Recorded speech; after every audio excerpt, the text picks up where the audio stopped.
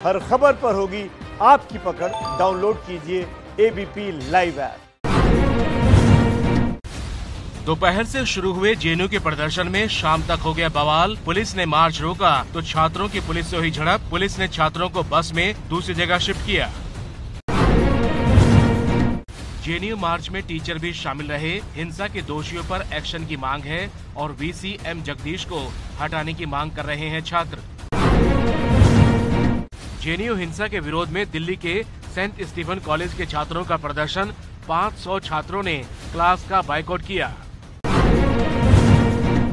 UP के अलीगढ़ में Hindu army ने पोस्टर लगाए। लिखा, न फ़िल्म छपाक देखेंगे और न देखने देंगे। छपाक फ़िल्म की हीरोइन दीपिका पादुकोण ने जेएनयू में हिंसा का विरोध किया था।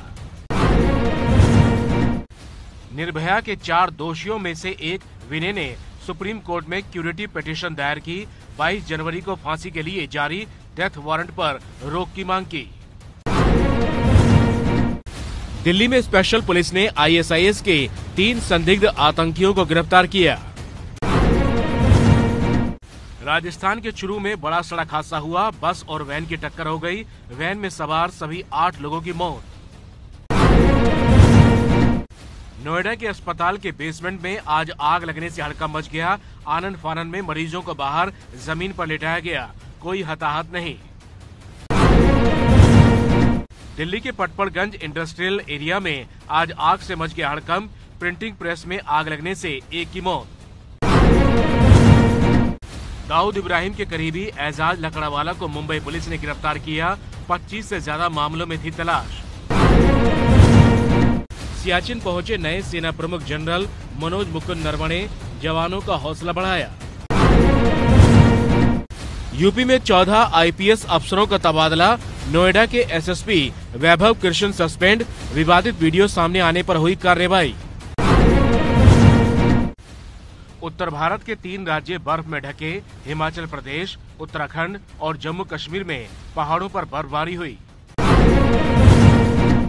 हिमाचल प्रदेश के पाँच हिल स्टेशनों पर इस सीज़न की सबसे ज़्यादा ठंड है। कल्पा, किन्नौर, डलहौजी और शिमला में तापमान माइनस में पहुँचा। हिमाचल के मनाली में बर्फ़ की मोटी चादर में ढक गया हिडिम्बा मंदिर। सैलानियों की बल्ले बल्ले हुई।